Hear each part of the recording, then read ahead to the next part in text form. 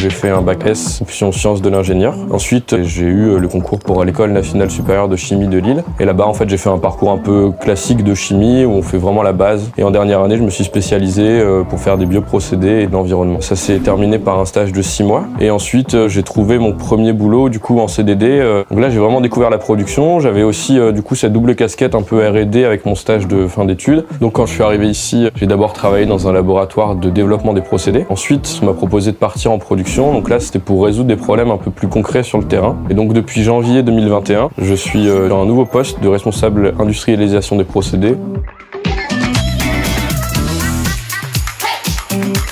Je coordonne, je participe à des projets d'industrialisation. Ça va être des projets techniques où on a besoin de pas mal de corps de métiers de l'entreprise, comme la R&D, les travaux neufs, la maintenance. Tout mon boulot à moi, c'est de faire en sorte que tout le monde travaille de manière cohérente.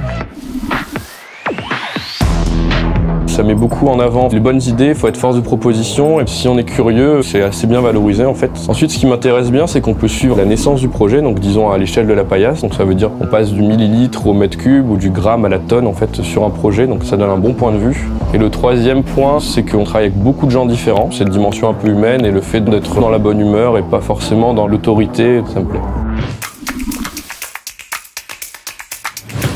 Suis euh, situé dans le département industrialisation et développement. Mon équipe, en fait, on n'est que deux, moi et une ingénieure procédé. Et on a plutôt donc euh, un positionnement qui est un peu faciliter les échanges des gens dans l'entreprise.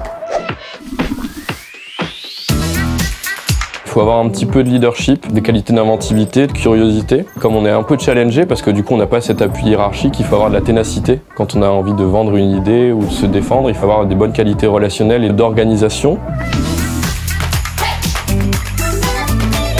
Donc on fait principalement des acides aminés pour l'alimentation animale. Je dirais plutôt facilitateur. Euh, faites ce qui vous plaît, euh, soyez heureux.